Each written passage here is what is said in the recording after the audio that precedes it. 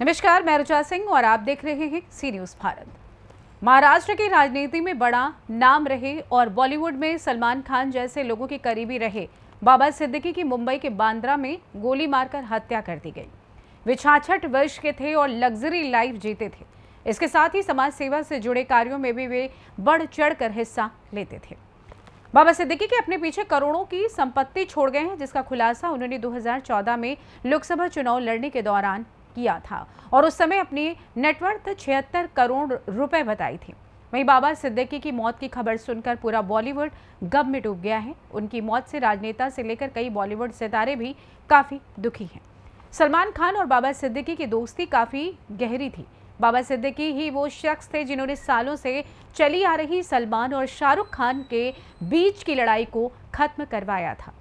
राजनीति में बड़ा नाम और बॉलीवुड से गहरा कनेक्शन रखने वाले बाबा सिद्दीकी का सियासी सफ़र भी काफ़ी रोचक रहा। बाबा सिद्दीकी की कभी मुंबई में घड़ी बनाने का वो कार्य करते थे। उन्होंने घड़ी बनाने से लेकर विधायक और मंत्री तक का सफ़र तय किया। तो चलिए, हम आपको बताते हैं कि बाबा सिद्दीकी का राजनीतिक सफ़र कैसा था और कहाँ कहाँ उन्होंने चुनाव लड़ा और कहाँ से जीत, हार का सामना करना पड़ा। देखिए हमारी इस खास रिपोर्ट में।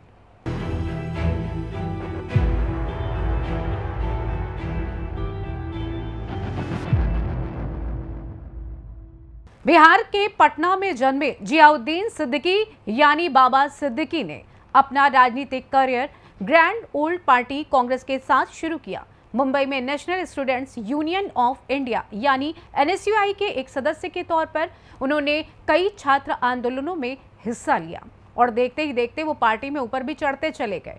साल 1980 में सिद्दीकी को बांद्रा तालुका यूथ कांग्रेस का महासचिव बना दिया गया। दो साल के बाद वो इसके अध्यक्ष भी बना दिए गए। साल 1988 तक सिद्दीकी ही मुंबई यूथ कांग्रेस के अध्यक्ष पद तक पहुँच गए थे और चार साल बाद वो ब्रह्म मुंबई म्यूनिसिपल कॉरपोरेशन में पार्षद भी बन गए, जहाँ वो आठ साल तक एक काउंसलर बने रहे। कहा जाता है कि बतौर काउंसलर अपने कार्यकाल के दौरान बाबा सिद्दीकी के कांग्रेस सांसद सुनील दत्त के करीबी भी बन गए थे। दत्त के साथ ये कनेक्शन उन्हें 1999 में बांद्रा वेस्ट विधानसभा का टिकट दिलाने में काफ़ी अहम साबित हुआ था। सिद्दीकी 1999 में पहली बार बांद्रा वेस्ट के विधायक बने और 15 साल तक इस क्षेत्र के प्रतिनिधि के तौर पर काम किया। इन 15 सालों में सिद्दीकी कांग्रेस का मुस्लिम चेहरा बन चुके थे। हालाँकि उनके राजनीतिक कैरियर को झटका तब लगा जब वो 2014 के विधानसभा चुनाव में अपनी सीट बीजेपी के आशीष सिलाड़ से हार गए। सिद्दीकी ने भले ही इसके बाद चुनाव नहीं लड़ा, लेकिन अपने बेटे जिशान को बांद्रा ईस्ट से कांग्रेस का टिकट ज़रूर दिलवाया। जिशान शिवसेना के इस गढ़ में 5000 वोटों से जीतने में कामयाब भी रहे। लेकिन सिद्दीकी और कांग्रेस के बीच रिश्तों में खटास दबाई, जब ग्रैंड ओल्ड पार्टी ने महाराष्ट्र में शिवसेना से हाथ मिलाकर महाविकास अघाड़ी बनाने का फैसला किया। एक समय ऐसा भी आया जब सिद्दीकी ने अपने पैतृक राज्य बिहार का रुख करने का फैसला किया। बहरहाल, जब लोकसभा चुनाव 2024 से पहले एनसीपी का बंटवारा हुआ और महाराष्ट्र की सियासी हवा बदली तो सिद्दीकी को अपने राजनीतिक करियर को फिर से खड़ा करने का एक मौका दिखा, जहाँ इस साल फरवरी में उन्होंने कांग्रेस के साथ अपने करीब पाँच दशक पुराने रिश्ते पर पूर्ण विराम लगाते हुए एनसीपी अजीत पवार गुट का दामन थाम लिया।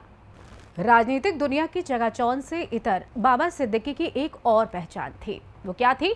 वो थी उनकी इफ्तार पार्टियाँ। जी हाँ हर साल रमज़ान के महीने में एक दिन बाबा सिद्दीकी की एक इफ्तार पार्टी का आयोजन किया करते थे, जिसमें राजनीति से लेकर बॉलीवुड दुनिया तक के कई जाने माने चेहरे सामने नज़र आते थे। साल 2013 में सिद्दीकी की एक इफ्तार पार्टी ने कई लोगों की निगाहें खींची। इसकी वजह थी बॉलीवुड के दो सितारों का साथ आना। इस इफ्तार पार्टी में बॉलीवुड के बादशाह शाहरुख खान और हिंदी फ़िल्म इंडस्ट्री के सुल्तान सलमान खान साथ नज़र आए थे।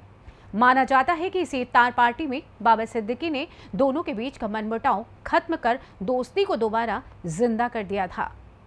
फ़िलहाल के लिए इस खास रिपोर्ट में बस इतना ही। देश दुनिया की तमाम खबरों की जानने के लिए आप देखते रहिए सी न्यूज़ भारत। हर खबर आपके साथ, आपके हाथ।